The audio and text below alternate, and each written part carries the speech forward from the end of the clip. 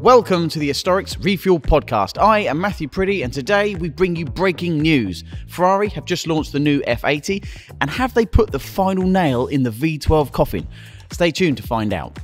Buying or selling a classic car? Head to historics.co.uk or click below for a free valuation. Welcome everyone to the Historics HQ here in leafy Buckinghamshire. Today I am joined by auction expert Fraser. How are we? Good, thank you. How are you? I'm very good, very good. And of course, long time podcast guest Dominic Lake. How are we? Hello, I'm good. Good, good. Right, now before we start, please do like and subscribe. Follow us on all channels. Make sure you give us a thumbs up so we can keep doing this, of course. If you want to buy a catalogue for the next auction, there is a link below. We'll give you some more details a little bit later. And a quick thank you to all of our sponsors, of course, Charles and Dean, who would be interested in helping you with any finance you may need. Now, as mentioned, we're going to talk a little bit at first about the Ferrari F80. Three million pounds. It's just been unveiled and it's not yet been driven, so no one knows. But 1200 brake horsepower, huge wing, F1 technology. But three things they have got wrong with the F80 Ferrari.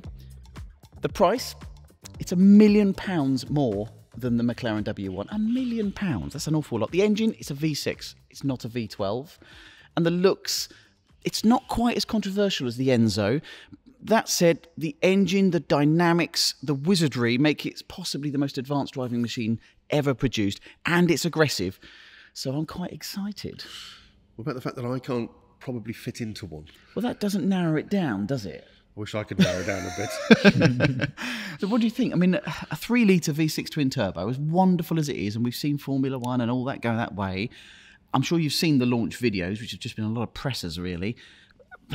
What do you think of the looks? Um, I quite like it. To be honest, Do you? It's quite extreme, yeah. And um, I saw the car out on the road being tested in its in its um, test, you know, camo. Camo, yes. Um, about a month ago. Um, Where and were you, it- Fraser? Austria. Yeah. Okay. And it looks Secret mission. yeah, can't talk about it too much. it looks crazy, but it is a big car. I think they really have to big, be, don't car. they? Yeah. Um, Length, width, what, the whole thing? it's everything massive. Yeah, it's, a, massive it's a bit of a change because the Enzo and even the F50 Enzo and the LaFerrari were very much, I think, bolder designs and sort of kicked off an era of DNA for Ferrari of that era. Hmm. Whereas I, the only thing I'd say about this, although I quite like the aggressive aggressive nature of it, it's a bit sort of uh, nondescript at the front, I isn't it? I mean, it? the, the one they made a couple of years ago called the Daytona SP3. Yes. That looks. that looks fun. I think much Yeah. better. Yeah, Yeah. um, a bit more sort of. So how many of these are on the market now then? So three Well, million none on the market, all sold before they got going. Was it buy invite only? Yeah, it, It will will be. be, Yeah, I think so. Salesman's dream, isn't Yeah, it? our invite must have got lost. How many was they made? Seven nine nine. yeah. Seven hundred ninety nine. And why is that significance? Is there a significance about the number 799 or Oh, yeah. No, no, possibly. if you're not doing your research, I, I would imagine. I mean, at that sort of value, before they probably started to turn a spanner, we're looking at you know what two and a half billion pounds worth in the bank, ready to go. Yeah. And that's before they make an aperta, which I'm sure they will do because they'll always cut the roof off of something to make some more money. Um, the big thing, though, I still keep going. I, I just don't. I don't think they should have got rid of the V12, and I do think it probably signals the real end of V12. the death knell think- of the V12? Yeah, because why? You know, if, if Ferrari aren't going to do it, Yeah. Thing is with Ferrari, they've always been, you know, from day one, they sort of made road cars so that they could go racing, and that's Yeah. what they've always done. And if you look all the way back, quite often their road cars were, you know, using whatever their race car was using Yep. at the time. And now F1 uses a V6, their Le Mans car uses a V6. well, this is a version of that Le Mans car engine, isn't it? It's actually we should have probably expected it. Yeah, I mean the Le Mans car I think tapped out at 800 brake horsepower. I think from reading it, and that's because of what you're allowed. But it's the same engine, throttled, and then with five electric motors. Yeah. And that, ironically, we were discussing this before. You can't actually. So it's a hybrid. You can't drive it on electric though. You can't drive it electric only. I quite like that Ferrari have done this. They said no, no. In the DNA, it's just for performance. It's not for driving an electric. Um, it's not to you know drive around London. It is just purely for performance. What are the figures on this car? So 1200 brake horsepower. 1200 brake horsepower. 800 brake horsepower from a three litre V6. The rest of it is from the electric motors. should be enough. I think what's we got? I think 0 to 60 was 2 point, oh, 2 point something seconds. Yeah, that's what something I would consider to be like motorbike speeds, really. Yes. Yeah, 0 to 124, which is 200 kilometers an hour, is just a little over five seconds. So it's what a normal sort of s- souped Nearly up as sports fast as car. Fraser in his M3. Exactly. Yeah, Yeah, yeah. So by the time you get to 60, they're doing 125 miles an hour in that car. Crazy. Although, no one will ever drive them like that. That's the f- but funniest it, I part. don't, yeah, exactly that. I mean, we always joke about some of the more modern F1 cars. I mean, we see old F1 cars doing historic Grand Prix at Goodwood and so on and so forth. Well, how is anyone going to do that with more modern Grand Prix cars? And even with this now, it's so complex. Yeah, wait till it, wait till those Can you five yeah. five motors go wrong. Can you just Yeah. park it in the garage and turn the key? Uh, that's going to be the thing. And at three million pound, would you want to? That's the big things like you say about the price. We were speaking earlier. If you look back ten years ago when they did the McLaren, the Porsche, the Ferrari, Yeah. um, I, I don't know what the price were when they were new, but the Ferrari, it's not the one I'd pick of the three, No, but but it's probably two or three times the price. and it's values, isn't it? And, yeah. I, and I said to you earlier about seven nine nine made, which is not a small amount. I mean, it's not a grand amount, but it's not a small amount. I think McLaren are making nearly half that amount of the W1, which Yeah. is very similar in hypercar stats. And it's two million pounds, not three million pounds. But you almost guarantee that the Ferrari probably ends up It's being the be more the- valuable car in twenty years' time. Probably, yeah. Although I think I don't know what the uh, these new Gordon Murray cars are worth now, but that's probably where you should put your money. Oh, well, That's uh, what I would do. Interesting to see what you would do. I mean, how do you think it's going to stack up against the? I mean, what we've got this new era of hypercar is they tend to a bit like the '80s, really, isn't it? One-upmanship. Yeah. And what's so sad is that they're not quite. I mean, it was brilliant when all three were out at the same time, very similar time. But now it feels like Porsche have got, I think, two years at least until they bring something to So the this would table. be old, old news by then. Um, Bugatti are working on a W16 1800 brake horsepower. or yeah, Lunatic yeah. Mobile, which will be fantastic when that comes crazy. out. um, and then obviously it's it's more McLaren Ferrari head to head. I think at the moment, a bit like in Formula One. I think. yeah, quite. So fit. overall, and, so and Aston Martin, um, Valkyrie, Valkyrie and then AMG One, of course. So they're all about They're all there. out, aren't they're they? all doing it. Um, all cars that we're probably never We've going seen a few drive. Valkyries driving around the West End. There are a couple out there. That seems to be their thing, doesn't Yeah, it? I You know. know, buy a Valkyrie, drive it around the West End, park it up. as you do. Probably Yeah. curbed. Yeah, possibly. Generally speaking, then, a fan or not a fan of the design? I don't, I don't, On the fence. I don't think I like it. Don't think you like it. No. Yeah, it's a bit fussy, but I like the it, yeah, retro hard not to like. slab-like aggression of it, which Yeah. I've always liked. I didn't necessarily like when Ferrari went down. They've got this new thing going on. I've noticed with this, they've released one called a 12Cilindri or something, a bit like a their front engine car. Yeah. And same with this, they've got like a black strip across the front. Yeah. It seems like a new thing. I'm not that, But I don't know if you took that off, it that. would look really probably. dull almost, wouldn't Maybe. it? I mean, you know, Maybe you need that in there. It's a bit and, funny, yeah. And V12, we think, is anyone really going to rekindle that, or we, No. is it up to us as classic car? It will be the, you know, if if Bugatti can make a W16, then you obviously still can make them. It'll be the small, bespoke ones? yeah, stuff like that. There'll be they'll be companies doing it. Pagani probably still do, I guess. But I don't know what the latest Pagani is. They were using a V12, beautiful V12 actually, to be fair. So it's going to be up to us in the classic car sphere to keep these V12s alive and keep them, Yeah. you know, as everyone's panache, the top of the tree, that particular lovely burble of a V12. Burble's probably not the right word. So with that, let's talk a little bit about our favourite V12s and and why we like a V12. yeah, So when I, as you probably heard from these podcasts before, started my motoring career in the 90s with Jaguar. So our ultimate car, the top of the range, was the V12, and you could get that in the XJS, my all-time I knew he favourite. gonna bring up You've got to mention You XJS. I'm not a to. betting There's- man, but there's if an I opportunity was, to mention XJSs. If you talk about cars, you've got to talk about the beautiful, beautiful, beautiful XJS. Uh, XJ12, the saloon car, and then the Daimler Double Six. I mean, it was the pinnacle of Is what we saw. that. V12 the same V12 that was in the Type Series 3, for instance, and it's just all the Yeah, way it- through? it- or was it, it was a it was a progression of that. Yeah, Yeah, it all been since the '60s when it came out in E-types. Um, just beautiful, smooth and powerful and refined, and that's that went hand in hand, didn't it? If you're going to sit in the gentleman's club environment of leather and wood, um, you need that. You need to be ensconced with the power and the softness and the. It, it's just a beautiful combination. It was a beautiful, beautiful combination, and because I think that those type of cars have moved away a little bit. You know, we're so modern now. Our cars and screens and touch this and touch that. Perhaps the V12 belongs in that era. Know, I, I think the V12 as a luxury engine can be, and it is cannon fodder for electric. That's the worry, I think. Yeah, maybe. Because I think it, it's the V12 was always brilliant because it was quiet. If it was in a luxury car, it had ultimate amounts of torque, so it was smooth. Of course, that is one thing the electric car really can Yeah. can. And also, and to be fair, you have to fill it up just as much as you'd have to charge one. it was it was inefficient. And then when you bring in the you know the young pretender, the supercharger, and more modern smaller engines that produce the same amount of power, that was the sort of death knell for the V12.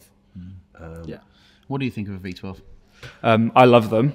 Um, one of my, I've picked a few here. On. Um, one of my favourites, BMW V12 from sort of the 90s, That was 750, 850. really, but it, it was smooth, wasn't it? It never really. Well, big, a big thing they did, you you should be able to, and if you ever go and see one, you should be able to put a penny or a pound coin on its side, And it top of the engine, it shouldn't fall over. That's how smooth it is. Yeah, and usually When it's running. yeah, when it's running, of course. yeah.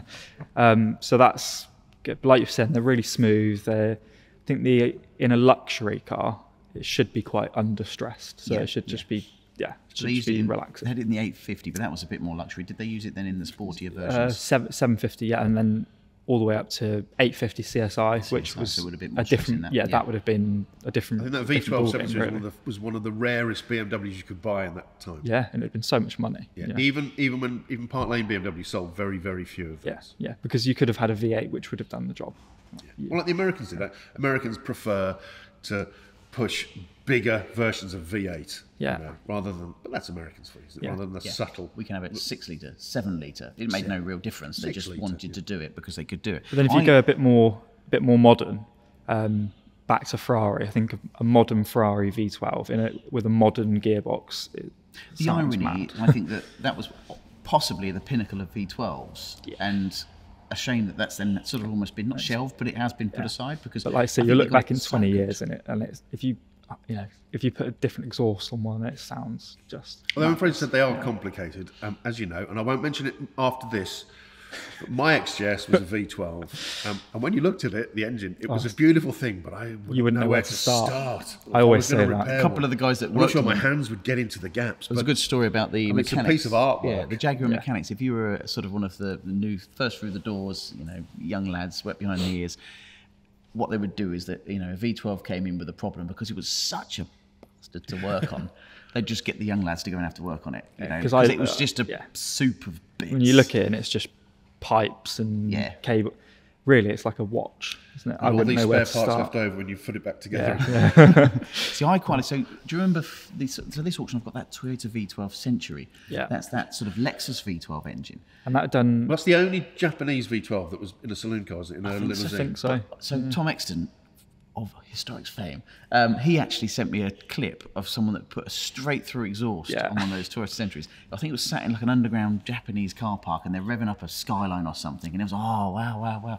Suddenly next door to it, this saloon Toyota Century suddenly is just bouncing off the rev limiter. Sounds like a Formula One car. The thing is, when we had it, um, you know, that car done about hundred thousand miles, Yeah. and I felt like I wouldn't have guessed it. You know, you turn it on, But that and car's it's available silent. In Yeah, the next next- yeah, yeah, auction. yeah. Yeah. So literally the most understressed engine in the world, isn't it? It's just Great. petered With around. curtains, antimacassars. I've sat in it a few times. It's one of the, the, the Good place to go and have a nap. places to be. Yeah. What a great place to put an engine. But the other one I like, and we said to us uh, in the Zonda, I think it was an, a, a brilliant engine in the Zonda. But that's sort of, it almost had to be. Yeah. Because the Zonda's such a pretty car. It had to have that sort of iconic engine. I think I don't know if you've ever been, you know, if you've ever been around some of the GT1 cars, sort of the early 2000s. But I've wrote um, Aston DBR9. That sounds, the sound is it. It's the sound. yeah. I think it's a bit like the Formula crazy. One era of V10s. It's, the sound is everything. And that's my last choice was a DB9. I mean, it's the only good bit on a DB9. yeah. I mean, DB9s, I love them. They're pretty. But it's Two, all two the available at, so far Yeah, on this upcoming sale. It's all that engine, and the, the value for them now. Oh. You'd pay the engine because it's, Oh, it- it's unbelievable. stunning. We used to have a thing where you get a DB9. There was three things you had to do. You know, one was turn on the sports sort of sports mode. You have to put the windows down, and you have to put it in like you know. You just have to hear the, blooming exhaust exhaust, because it's Yeah. a GT. You, you don't hear it enough, but it's stunning the noise that comes out of that car. And that was that's a car for you know sub twenty thousand pounds. Yeah, teens now. Yeah, I, I do think they will become more more appreciated. I think as we go on, based on the engine. Yeah. We saw it a couple of years ago with V8s. Everyone wanted the V8s. I think people will want those. I think engines. also as people start using like even Jaguar XJs and BMW X7 series, they use it more as a weekend car. Yes. You can kind of live with five miles per gallon. Yeah. To a certain extent. Well, that brings us on to, to a bit of news then. So let's just talk about what's been happening. I watched the Formula One at the weekend, and there's another one coming up. And that was been Yep. quite interesting because Lando's still chasing down Verstappen. Ironically. McLaren. Um, It's. I don't think he's going to get there. He's going to struggle. Yeah. Yeah, I don't think he's going to get there. And now it looks like Hamilton has had a genius move of moving to Ferrari. Yeah, don't get don't get lured into the trap because next week they may Well, it's go back to their old ways. But a bit of a yeah, double head, isn't it? It's Yeah, Mexico okay. next week. So, I do you think that Lando's got any chance of catching him? um, no. No. As think- much as well, I unless like he gets him. a DNF, of course, unless there's a, an incident, that's where it really could. I think there's five races left. He's got to outscore him by ten or eleven points every race, which will happen. And watch this space for the young Ollie Bearman. Yeah. Yes. Exciting prospect, I think. I know Formula One isn't really my thing, but I've been watching his career, and it's uh, from karting, I and most of them do. Uh, he's doing really well. Yeah. Yeah. I think he's, where's he, Haas now? Yeah, I think so, yeah, with the Haas team, yeah. So, uh, did he get a point for Ferrari and for Haas this year? In the same year. In the yeah, same year, Yeah, which I don't think's been done and one of the youngest before. starting Formula One drivers, British dri- drivers Ever. ever. I still think it's fantastic how we Good going. still produce such great Formula One drivers as well as you know so I mean, teams that are based here. Thing is, uh, when I was so when I was a lot younger, I did a bit of karting, It's been a lot younger. and How young were you? how long keep? How young eight. keep? yeah, fair enough. and the UK really is the you know it's the place to do it. Loads Yeah. of people would come over here, and um, but yeah, you know, the, ev- were there's you always any good? it's all right. Thing is, you need um Weren't you in a Formula? Oh, you need a big, you need a big again. checkbook for Let that. us write down. Yeah, you need a big checkbook. Speak to the boss. Speak to Mark Perkins. He'll fund you. So in other and bad news, there's rumours of a tax hike on fuel again. So levy on fuel, the government are thinking about putting more on that. Now, it's all bad news at the moment, terribly, and waiting for this sodding budget. But actually, and this is me just reading between the lines, this is just trying to make us buy electric cars. People are starting to realise now electric cars aren't what they're cracked up to be. The sales figures have diminished drastically this year. And also, if you look at some of them on the like second-hand market, Yeah. I, c- I never really look, but I see things on So what's the best way of making people buy electric cars? Make combustion engines incredibly expensive. Yeah, So you of course. can't. it- It's that sort of. Oh, in that case, we can't make them any cheaper. So what we do is we make them more expensive. Yeah. That's what it smacks up to me. But So aren't the road tax benefits for electric cars sort of diminishing as well? yeah, yeah, They're yeah. having you both ways. They're having aren't you both ways, but Yeah. making you buy electric, so you have to do it now. So all the benefits have gone, but you've got to do that. If you don't like it. So yeah, I'm not not big on that. So that's happening, unfortunately. times buy a classic. Definitely, yeah. yeah. um, any news you can think of, Don? they? Well, you, Les, it's a great idea. Pardon? Yeah. because you can ditch those modern cars that cost you a fortune and buy a classic car mm-hmm. from us and drive it ULEZ charge free. Yeah, which I think are. find c- Straight it's crazy, isn't it? Isn't it? If we all went into London, there was three million classic cars going around. It'd be a lot worse, wouldn't it, for the environment? But For the environment, no, not for the environment. for the environment, no, because these cars have never, they haven't had to be rebuilt. They've been pulled out of the ground and that. I mean, No, yeah, it's okay, don't get me wrong. You give lots of children asthma, so that's not great. No, but if you, it's okay if you pay um, twelve pounds a day. There you go. So that's fine then. Yeah. Yeah. Don't worry We about said them this then. Before, you know, if, if they really wanted to stop that, they'd just stop cars. Well, you wouldn't just charge cars. You'd just. My old supercharged Range Rover was ULEZ free. Yeah. How can that be? Work that one out. I had, Okay. I had thirty pound a year tax for my Mercedes I had, but it wasn't ULEZ free. So, so you're telling me it was good for good for the environment, so I have to pay less tax, but I can't go into London. It's such a farce, isn't it? It's Yeah, absolutely rubbish. I quite like that idea though. ULEZ, everyone go, everyone in London buy a classic car, and then Wouldn't it look a lovely place? yeah, wouldn't it? Yeah. Fingers Well- up to the London mayor. Park Lane full of E-types and XJSs. V12 ones. The worry, V12. the worry is that they'll all be just like falling apart, really, when they because everyone's got bangernomics, really. Um, new GT3 is out, so that merry-go-round starts for them poor Porsche people that are obsessed with whatever's new and putting them on finance. Although the, the big thing, um, the actual base price, something like 30 or 40 grand more. no, Yeah. Um, 30, it's a lot. 40,000 Although more? I, I saw a thing that was quite interesting that the way that um, inflation's worked out, it's, it's not, you know, it's not 30 grand in your pocket, it's five grand or something. It's a big difference in the last few years. But um, I think the only difference is probably the bumpers, the wheels, and you can get rear seats in a touring. That's a standard point two thing, though, isn't it? Really, with Porsche, it's a midlife refresh, and then make everyone that is obsessed with having the newest one buy the new one, and it's, it harks back to that same thing. It's manufacturers, governments wanting people to buy new cars. Stop buying new cars, buy classic cars. They're much better. Um, And then, uh, favourite bit of news Renault are considering releasing a super hot hatch edition of the Renault 5 and they release that, so that would be pretty cool. Yeah. Hot hatches are in. Well, I As think they're all electric, proved- aren't well, With the Yaris proved, though, with the, the GR thing. Yeah. There is a market for it. We love hot hatches. Everyone loves a hot hatch. Always do one of the sales, don't we? Yeah, they always All do. hot hatches, Everyone loves them. always They're not even sure why they buy them, but they just do. It's just good fun, isn't it? Yeah. Right. Is it the practicality? You can park. Is that 'cause you can Maybe sell you it? can park the darn things as well, and you can sell them, can't you? I suppose Yeah, it you always sell it to your partner. It's Yeah. a practical car, love.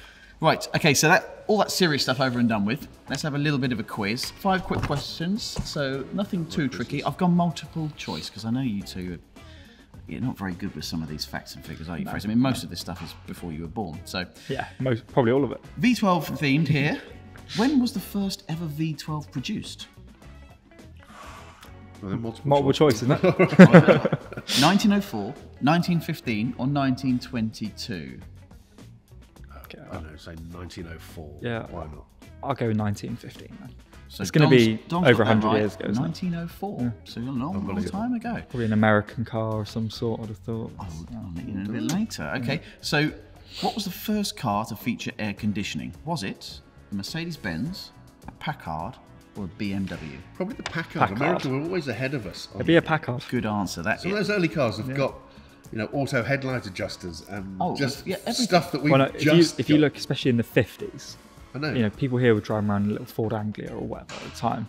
Over there, most of the Oh, cars had electric seats. They had this. steering, yeah, yeah. just all folding of it. hoods, Yeah. the electric. The, It's it's just a different, really. different ball game over there. Yeah. Uh, what was the first car manufacturer to feature powered steering? Was it Chrysler, Ford, or Nissan?